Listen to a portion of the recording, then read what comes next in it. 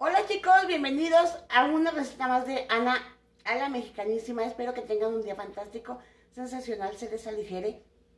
Vamos a hacer el día de hoy un flan de mango que queda delicioso. Además, les va a encantar. Lo pueden hacer en la estufa, lo pueden hacer en el horno, como gusten. Así que vámonos con los ingredientes. Iniciamos con los ingredientes. Voy a necesitar media taza de azúcar este es para el caramelo, una lata de leche condensada, cinco huevos, un mango grande, que realmente esté grande, una lata de leche evaporada y un chorrito de vainilla. Y empecemos con la preparación.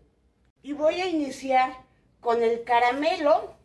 Voy a poner el azúcar en una cacerola a que se caramelice. Y mientras en el vaso de la licuadora voy a poner los cinco huevos. Voy a agregar la leche evaporada.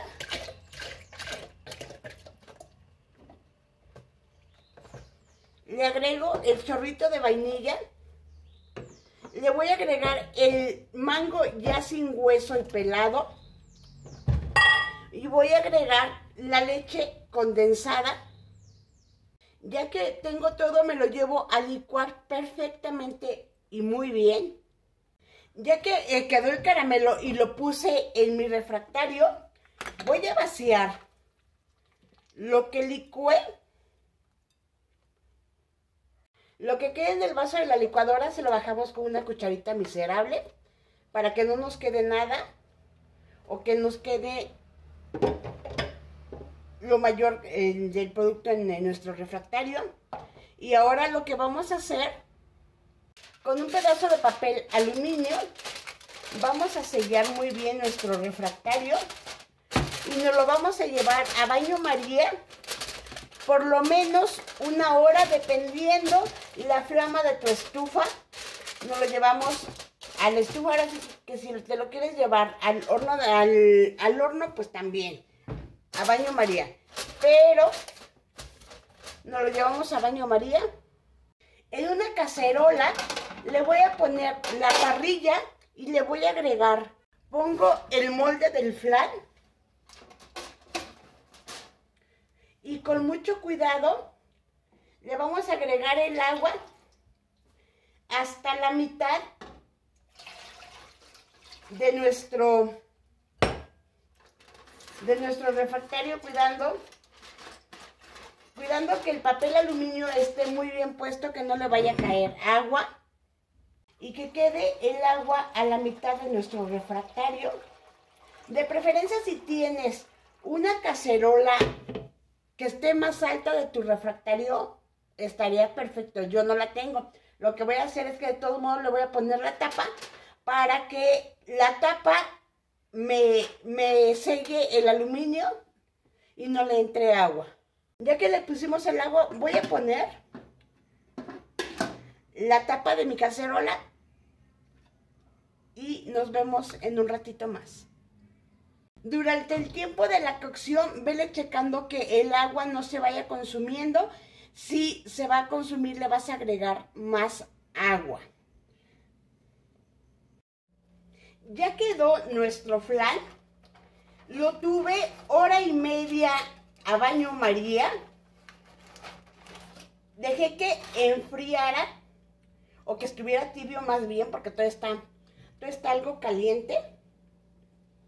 ¿Sí? Todo está caliente.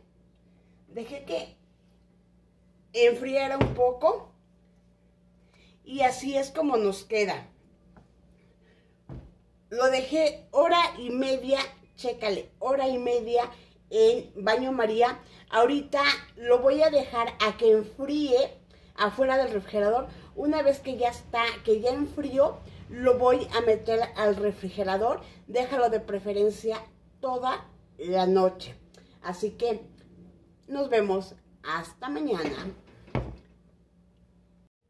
Ahora sí, ya salió, lo tuve toda la noche en el refrigerador y así nos quedó. Lo dejé hora y media a baño María en la estufa.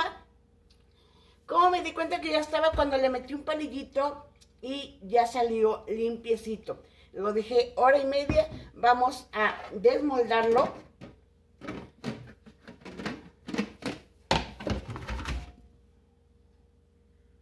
Y vean qué delicioso es. Vamos, vamos a partir, quedó, quedó el caramelo fantástico, delicioso. Vamos a partir y a probar. Ahora sí, ven nada más que delicia. El caramelo queda fantástico, le da un color delicioso. Vamos a probar, a sacrificarme por ustedes. Ven nada más, qué delicia. Mmm. Mmm, mmm, mmm, Un postre rico, fresco, con fruta de temporada. Mmm. Vean nada más. Es que esto queda delicioso. Si te toca el postre, de verdad, hazlo. Déjalo refrigerar toda la noche. Agarra consistencia y frío sabe exquisito. Mmm. Mmm, mmm, mmm, Para cuando ya, nada más a la hora de, de la comida y queda sensacional y sorprendes a tu familia. Espero que les haya gustado. No se les olvide dedito arriba Suscríbanse, por favor, las espero en la siguiente receta de Ana, la mexicanísima. Les voy a dejar en la cajita de información, les dejo los ingredientes y también les dejo los links de otros postres o de otros flanes.